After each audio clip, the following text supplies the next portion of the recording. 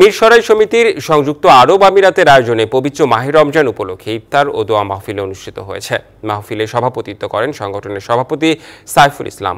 সাধারণ সম্পাদক নাজমুল হাসানের সঞ্চালনায় অনুষ্ঠানে প্রধান অতিথি ছিলেন মাজারুল্লাহ মিয়া বিশেষ অতিথি ছিলেন নুরুল আলম সালাউদ্দিন হেলাল, আবু সাইদ নুরুদ্দিন নাসির উদ্দিন নুরুল আনোয়ার, মোবারক হোসেন, মাসুদ, জসিমউদ্দিন ভূঁইয়া সহ অনেকেই। আলোচনা শেষে সিআইপি ফখরুল ইসলাম খান মাজার উল্লাহ মিয়া নুর উদ্দিন ও সিরাজুল ইসলামকে ক্রেস্ট প্রদান করা হয়।